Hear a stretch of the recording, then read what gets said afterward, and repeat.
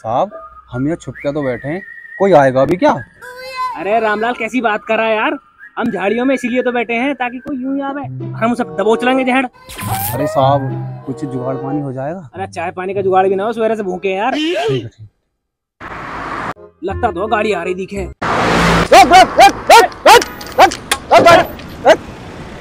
बाहर निकलो बाहर निकलो। हाँ सीट बेल्ट नहीं लगाई। गाड़ी कागज़ है? लाइसेंस? पॉल्यूशन? नहीं है साहब कुछ नहीं है हमारे पास? नहीं बेटा कैसे कर रहे हो? रामलाल ना तो लाइसेंस है ना पॉल्यूशन है कुछ भी नहीं है ना सीट बेल्ट लगा रखी। है। काट दो आज काट दो। साहब? अरे रामलाल यार चालान कर दो चालान। चालान? बीस हज़ार का सीधा बीस हज़ार का। ठीक है साहब लाओ पैसे निकालो पैसे पैसे। चलो चलो चलो।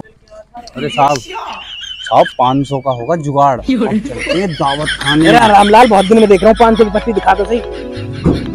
अरे भाई हम मारेंगे चाय और समोसे। चलो। ये बरसों बीत गया समोसे ना खाई। चलो। हाँ भाई ताऊ चाय। चाय एक बड़ा मतलब एक गर्मा गर्म कड़क सी चाय। चालन लगाओ चालान। वो डालो डालो वो वो चल चल अपनी तो दाढ़ी पक्की हो गई है। चलो, अब घर चल